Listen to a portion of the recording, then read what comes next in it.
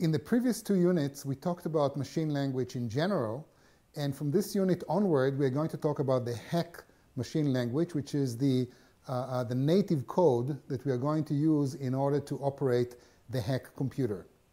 Now, I don't want to talk too much about the Hack computer itself because we're going to, to spend a whole week uh, or more than, than one week talking about the computer, but I do want to give you an overview of the hardware platform on which the machine language is going to operate.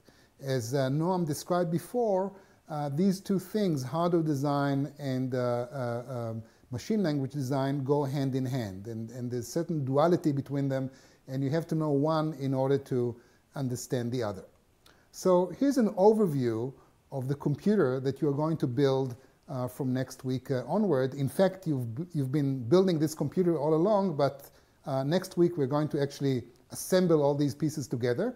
And we're going to have a computer which consists of three main elements. We're going to have uh, basically, uh, first of all, we're going to have a 16-bit computer. And a 16-bit computer is a machine in which everything consists of chunks of 16 bits. So if you want to store something, you have to store 16 bits together. If you want to retrieve a piece of data, you have to retrieve 16 bits. If you want to move data from one place to another, you move them in chunks of 16 bits. So this is the atomic unit of information in this, uh, in this computer.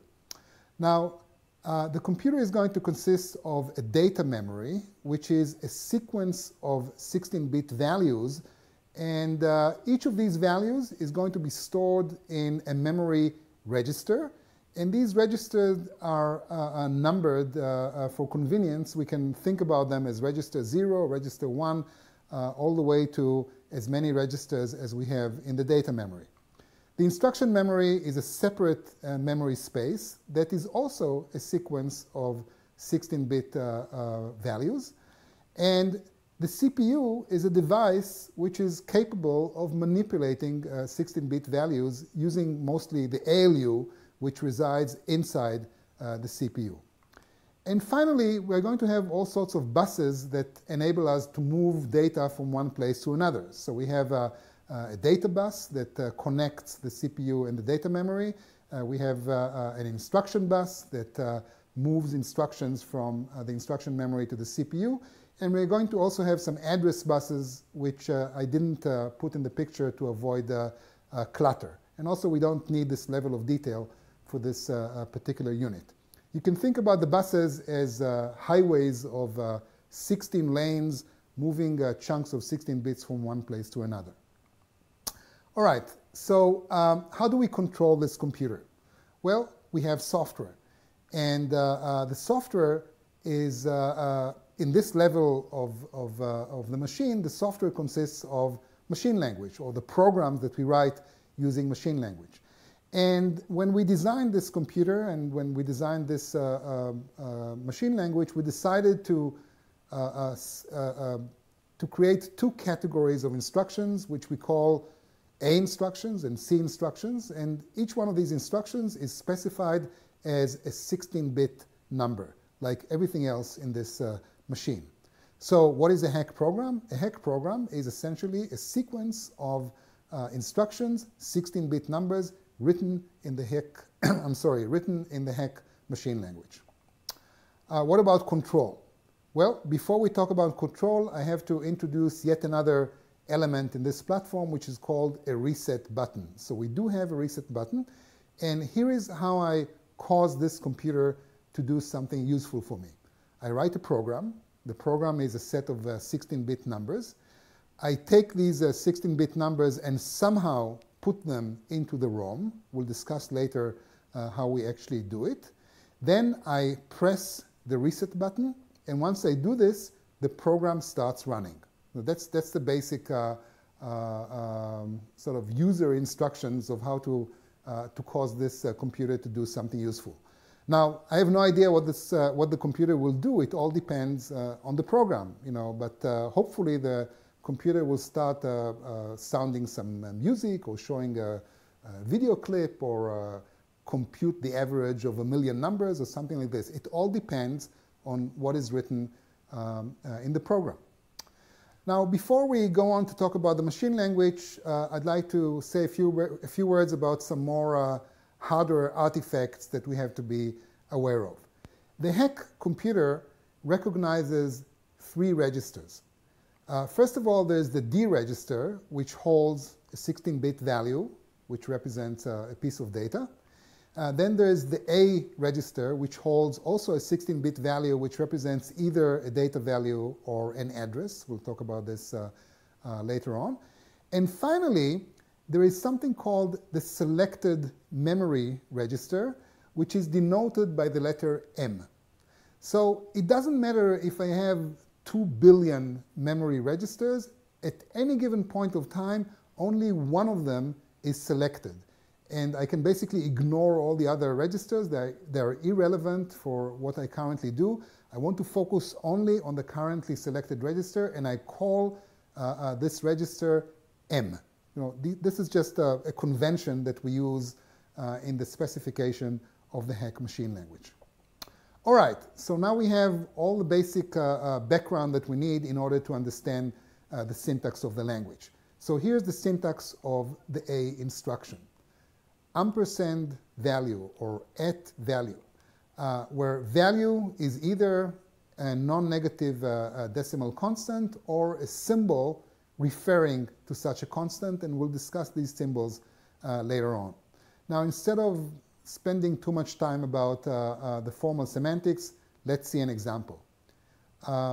what does at 21 mean? Well, if I tell the computer at 21, two things happen. First of all, the A register is set to 21. And second of all, RAM of 21 becomes the selected RAM register. So we see that the A register has a very important side effect. Once you set uh, the A register to a particular value, like 21, it automatically selects a particular register from the data memory, and this register becomes uh, uh, the currently selected register, what I called M in the previous slide. All right, so this is the operation uh, of, or that's, that's the semantics of the A instruction. Here's an example of how we actually use this instruction. Let's say that we want to uh, uh, set uh, RAM 100 to minus 1. How do I do it? Well, the first thing that you have to do is select the register on which we want to operate, and we do it by saying at 100. Once we do this, we get the side effect uh, uh, working, and then we can say m equals minus 1, because m now denotes register number 100 in the uh, memory unit. So that's how, how we use the A, A instruction. We always need it be before we operate on the memory. Before we do something to the memory, we have to select a register, so we always have to uh, uh, uh address the memory using an A instruction. And that's, by the way, why it's called A, A for addressing. The C instruction is the uh, workhorse of the language. That's where most of the action uh, takes place. And the syntax of this uh, instruction um, consists of three uh, different fields, which we call destination, computation, and a jump directive. Now, here's how it works. First of all, we compute something. And then we can do one of two things. We can either store the result of the computation in some destination, or we can use this computation to decide if we want to jump to some other instruction in the program. Now, this is the basic overall semantics of the C instruction. Now, let's get more uh, into the details of every one of these fields. The computation can be any one of the computations that we see here. So uh, we see here a set of uh, uh, what is sometimes called mnemonics or symbols that represent some operation. So we can compute the values 0, 1, minus 1. Uh, uh, we can compute the current value of the D register. We can compute D minus 1, D plus A, uh, D and A, and end here is a 16-bit A, D 16-bit or A, and so on and so forth. And wherever you see uh, the mnemonic A, we can replace it also with a mnemonic M. So we can do many different things using the, uh, uh, the computation field. What about destination? Well, we have eight uh, possible destinations, beginning with uh, null, which means that we don't want to, uh, to store the results of the computation uh, at all. And um, we can store the result of the computation either in the currently selected uh, RAM register or in the D register, or interestingly enough, we can store it simultaneously both in M and in D. This is something uh, which is actually quite powerful about the Hack uh, machine language. We can simultaneously store the result of uh, computations in more than one uh, container. You know, we have eight different possibilities, and the programmer is free to use any one of them according to what he or she wants to do. Now, what about the jump directive? The jump directive uh, takes uh, a little while to, uh, to get used to, and here is how it works. We have eight possible conditions, and these conditions always apply, they always compare the result of the computation to zero. Okay? Um, and once again, instead of belaboring about it, I'm going to, uh, uh, to give uh, some examples in just a few minutes, so this will become uh, much clearer uh, once we see the examples. Uh, so let's say that I want to set the D register to minus 1. Okay, set the D register to minus 1. I look at the language specification, and I see that I have minus 1 is, is one of the values that I can compute, and D is one of the uh, uh, legible uh, destinations. So I can simply say D equals minus 1. The jump directive is optional, so I don't have to specify it. So case closed. Let's move on to the next example. Let's say that I want to set RAM uh, 300, register number 300, to the value of the D register minus 1. Once again, I look at the language specification, and, uh, uh, but before I do so, actually, I have to select the register on which I want to operate. You know, whenever I want to access the memory, I must use an A instruction to select uh, uh, the register of interest. So I say at 300. And then I look at the specification and I see that I have uh, D minus 1 as one of the values that uh, uh, the CPU can uh, compute for me. And I have M as one of the legible destinations. So all I have to do is say M equals D minus 1. And that is how I set register number 300 to D minus 1. As, as, and as you see, I need two instructions to carry out this particular operation. Whenever I do something to the memory, I first have to use an A instruction to select the register on which I want to operate. Okay, the last example deals with, uh, with a jump. You know, how do I tell the computer to jump to execute uh, a particular uh, instruction? Let's say that uh, uh, the condition that I want to use is that uh, if d minus 1 equals 0, jump to execute you know, the instruction which is located in ROM 56. You know, this is, this is similar to, uh, for example, uh, a condition that terminates a loop. You know, um, I do something in a loop, and each time I check the value of d minus 1, and when it reaches 0, I want to jump to some other uh, instruction.